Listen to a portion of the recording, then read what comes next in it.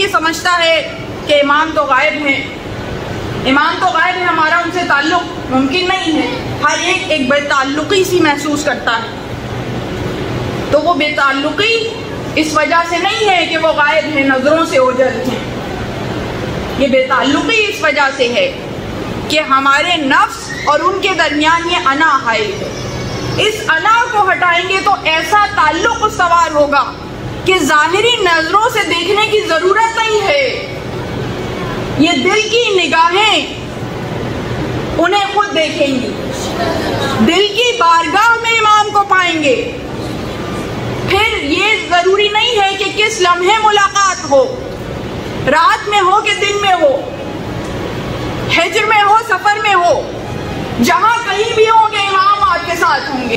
तो ये कुंजी है। तस्किया नफ्स की कुंजी ये है कि अपने नफ्स को इमाम को सौंप दें। अपने नफ्स को ईमान को सौंप दें। अपने वजूद को इमाम को सौंप दें। और सिर्फ़ जबानी तौर पे नहीं, रूहानी तौर पे, दिल से एक मरतबा मुसम्मा में इरादा करें कि अब मौला, अब आज से मैं खत्म, बस तू ही तू। मैं खत्म बस तू ही तू और जब वो ही वो होंगे। जब वो ही वो होंगे तो फिर नजासत का कोई शायबा हो सकता है तस्किया नफ्स में कोई शक हो सकता है।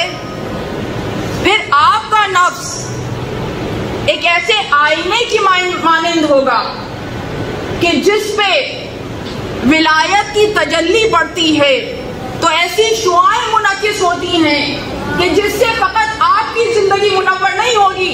गिर्द जितने लोग